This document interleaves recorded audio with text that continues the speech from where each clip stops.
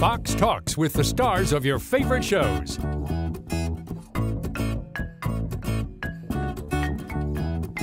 It's a very good question. It was the community's choice. I held a meeting with members of the public, locals, I asked them what is what is the one thing you want in this town right now?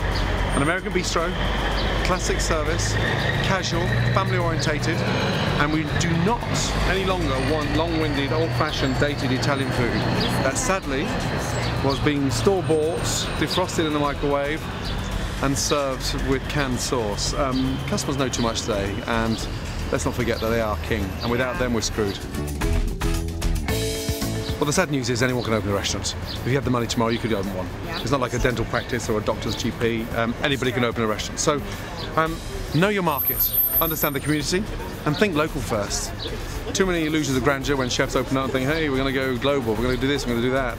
I think back to Pittsburgh and what that stands for. Meat and potatoes I was at recently, and that was an extraordinary experience. You come out into the suburbs, into the county, and a town like this, close knit, And, and people talk fast. So your bread and butter are the locals, but it's got to stay within the vicinity of what it's pitching for, not shooting too high. Kitchen Nightmares is built up on a, an amazing team. We have a, a phenomenal art department, we have a phenomenal uh, kitchen department, uh, great producers, great directors, and so you know we take it very seriously. We do our research, uh, our market research. We find out what the rest hasn't got, what it hasn't done, what the locals are craving for, but more importantly, um, what's what's happening now.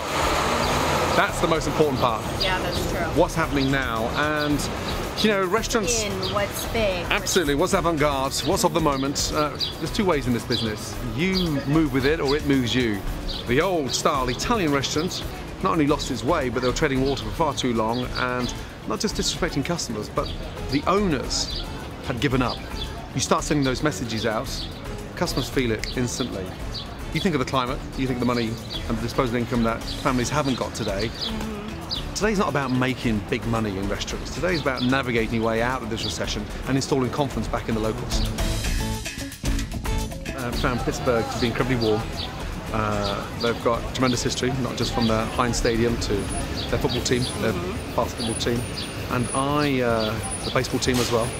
I found uh, a sort of close-knit community. I mean, it's got a big name, but it's very small in terms of, you know, comparing to New York City, Yeah. uh, Washington, Miami.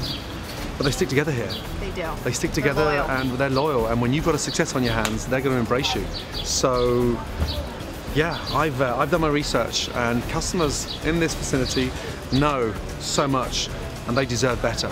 So the shock, horror when I first arrived here, you know, a they forgot that the customers are the salt of the earth, but they're real people. I mean, as you saw in season uh, nine, we had uh, returning chefs, Black Jacket uh, award-winning chefs that came back to compete in amongst.